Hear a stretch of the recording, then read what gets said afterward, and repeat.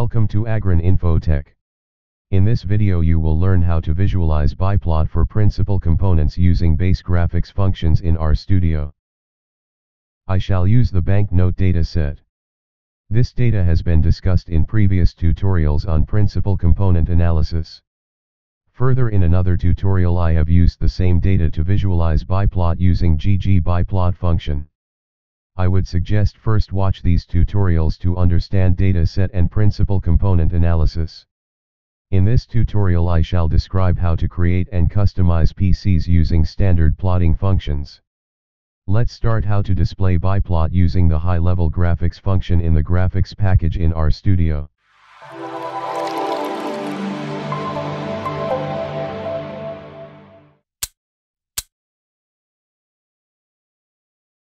Clear all the objects, values, and windows or plots using remove, graphics.off and shell function. Copy the measurements from sample data set including the variable names. Use read.table function to read the copied data in a table format. True for header argument will specify the copied data contains variable names. In file argument type clipboard to access the copied data. This will create the data set in an object named as data. Use the head function to print the first six rows of the object data. Now let's carry out the principal component analysis. Load the stats package by using require function. Use prcomp function to perform a principal component analysis on the given data matrix. In X argument you can specify the numeric or complex data matrix for the principal component analysis. In this argument specify the variables to be used for principal components. Minus 1 shows that the first column containing categorical variable will not be included in the analysis. True for center argument will shift the variables to be 0 centered. I shall use false for scale argument. As scaling is preferably done when you have variable measurements in different scales. In this data set all the variables were measured in same units so I shall use non-scaled data for PCA. Print function for PC object will display the information of standard deviation and loadings. Use summary function to print variance related measures of components. I am not going to describe the results and neither will interpret the biplot. If you want to get more details then also go through the previous tutorial on PCA and biplot. Link is also provided in the description. Now let's display this information as biplot for first two PCs using base graphic functions. The package used in base graphics system is already loaded in a standard installation of R. However, for a non-standard installation you can load the graphics package using require function. The main function used to access the graphics state is the PAR function. Simply typing PAR will result in a complete listing of the current graphics state. A specific state setting can be queried by supplying specific setting names as arguments to PAR. So let's add some arguments to this high-level PAR function. In type of plot argument you can specify the plotting region to be used. S character in this argument will generate a square plotting region. You can specify a numeric value to magnifying main title and axis labels using CEX argument. In font argument you can set any of the given values to get plain, bold, or italic fonts for main title and axis labels. In family argument specify the name of font family for drawing text. The default value for this argument is blank which means the default device font will be used. Here are some default device fonts that can be used for drawing text. To specify color of the main title and axis labels use color argument. The simplest way is to use the character string giving the color name. You can specify color for axis and boxes around the plot by using foreground argument. las argument specify the style of axis labels. Here are four styles which can be specified by giving a numeric value. Start a new plot frame. To set up a graphics window you need specify certain arguments. In this graphics window specify the limits for X and Y axis. You can also use range of PC1 and PC2 obtained from X values in PC object. Set the value for aspect ratio of X and Y axis. All of the above arguments will be effective in the next plotting functions. Let's add the axis to the plot. The axis function allows the specification of the side, position, labels and other options. Inside argument specify on which the axis is to be drawn on. The axis is placed as shown here. While the AT argument specify the points at which the tick marks are to be drawn. In label argument you can set a logical value to specify whether numerical annotations are to be made at the tick marks. Same arguments can be used for the second y-axis. For this you just need to change the value of side argument. Using 2 value for this argument will draw the axis on left side of the plot. After drawing the axis now let's add main title and x and y labels to the plot. For this use title function. Some of the title arguments we have already used in high-level PAR function. In main argument you can specify the title of the plot. In line argument you can set a value to specify the placement of labels on the axis in the figure region of the plot. ADJ argument determines the way in which the text strings are justified. The value of 0 will adjust the main title as left justified. You can also use other values for text justification on axis. To add x and y axis labels use the same title function. In x-axis label argument specify the text to be used for this axis. You can simply type the text in quotations however I am using the paste function. The text in quotations will be pasted as such while for showing the value of variance you can use the formula to specify the variance. We can get the value of variance from summary of PC object. In importance component typing 2 in square brackets will take the second value from the first principal component. Multiplying this value with 100 will convert the variance into percent variance. Set the value 1 for digits argument to round the percent variance to one decimal place. You can use character string to separate the terms in sep argument. Similarly with the same arguments you can add y-axis label. Just change the text and variance value. The value 5 in importance component of the PC represents the proportion of variance in the second PC. In line argument set the value to 2 to place x and y labels in figure region of the plot. Using 0.5 value for adjustment argument will place the x and y labels center justified. Now let's add the points to the plot. For this you can use a low-level point function. In points function the x argument specify the coordinate vectors of points to the plot. The value of 1 to 2 represents that the first two PC values from X component of PC object will be used as coordinate vectors. In PCH argument you can specify the type of symbols to be used for each group in categorical variable. In this data set the categorical variable consists of two levels. The first level represents the genuine notes and second level represent the counterfeit notes. As the first hundred values represent the genuine banknotes so I am using symbol number 16 to represent genuine notes. As the second hundred values represent the counterfeit banknotes so I am using symbol number 17 for this category. In CEX argument you can set the value to increase the size of the symbols. In color argument you can use character string by giving color name for each set of symbols. Now let's add ellipse to each set of categorical variable. First load the ellipse package using library function. If this package is not installed on your device then you can use install package function to install ellipse package. To draw ellipse on the plot use polygon function. In the ellipse function the x argument specify the correlation matrix at least 2 by 2 in size.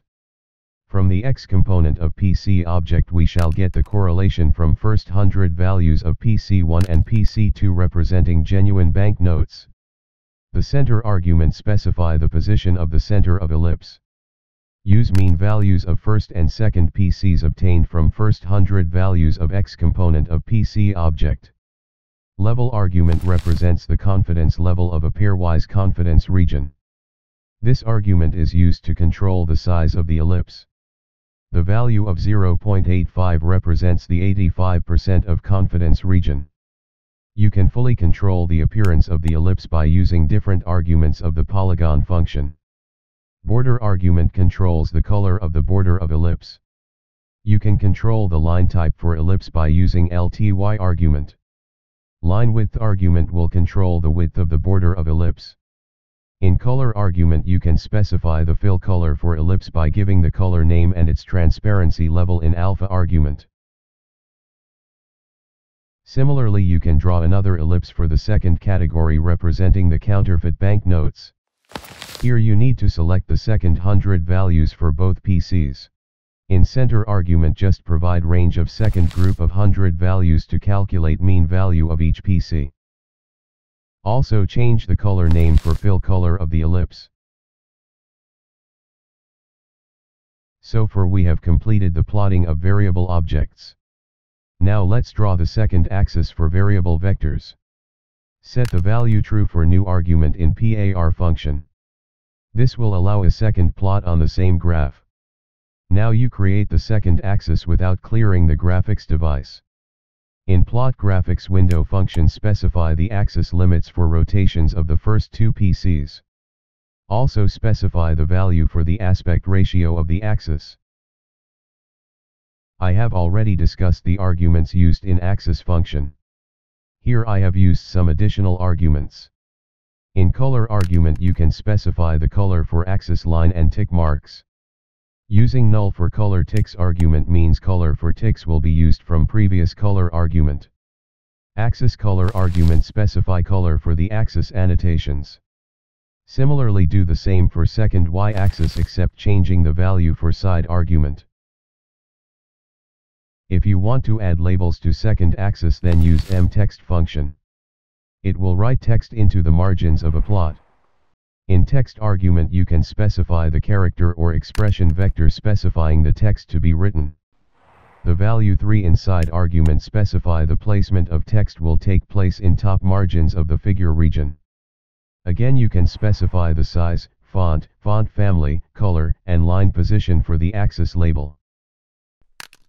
Similarly use the same function for adding label to the y-axis for second PC. For value for side argument specify the placement of the axis label will take place on the right side of the margins of the plot. I have used an additional las argument. The value 3 specify the style of the y-axis label will be vertical. Now let's add box and lines to the plot. By simply using box function we'll add box around the plot. To draw horizontal and vertical lines for PC1 and PC2 use abline function. Set 0 value for both vertical and horizontal lines. Setting value 2 for line type argument will draw dashed lines. You can also specify color for the lines in color argument. To add variable vectors to the plot use arrows function x0 and y0 arguments represents the coordinates of points from which to draw the variable vectors. Set 0 value for both of these arguments. x1 and y1 arguments specify the coordinates of points to which to draw the variable vectors. The value 1 represent the first PC values from rotation component of PC object. Similarly the value 2 represents the rotation values of the second PC. In color argument specify the color for variable vectors. In length argument you can specify the value for the length of the edges of arrowheads. The default value for this argument is 0.1. The line width argument controls the width of the variable vectors. In angle argument you can specify the angle from the shaft of the arrow to the edges of the arrowhead. Now let's label these variable vectors using the text function. In x and y argument specify the numerical vectors of coordinates specifying the text to be written. Set these coordinate vectors from rotation component of PC object for both PCs. Label argument specify the text to be written. Use the row names of PC rotation component for this argument. You can also adjust size, font, and color for variable vectors names. You can specify the position of variable names using position specifier argument. You can specify position of the text using values of 1 to 4 for each of the variable name. Now let's add unit variance circle for the variable vectors. First create a unit variance circle object by using combine function. Divide each value from 0 to 360 with 180 and multiply the result with pi. Take cosine and sine of these values and combine it using combine function. Now again in polygon function use unit circle object as matrix of values. Choose solid for line type argument. Set the color of the border of unit variance circle in border argument. Also specify the border line width in LWD argument. This will plot a unit variance circle. The variables close to the border of the circle have major contribution in PC analysis. Finally you can add legend to the plot using legend function. In X argument you can specify the location of the legend in plotting device region. I am using top left position while you can specify any of the positions as shown in the list. In legend argument specify the categorical variable group names. Use same symbols in PCH argument for groups of categorical variable. Also specify color for each set of symbols in color argument. In font text argument set the value for font type used for the legend text. The size of the legend text is controlled by CEX argument. You can also magnify points by changing the value of point CEX argument. In box type argument I am using n character string for this argument. It means box will not be drawn around the legend. You can control the horizontal and vertical spacing of the legend text by setting the values of x and y interspacing factor argument. You can specify the legend placement to plot region, figure region, and device region by using xpd argument. False for this argument means legend will be placed within plot region. True for this argument will place the legend in figure region. NA for this argument will place the legend in device region. In adjustment argument you can use values of length 1 or 2 for legend symbols and text adjustment. I hope this video will help you to understand how to create and customize biplot for principal components using R program. Please comment below if you have any questions.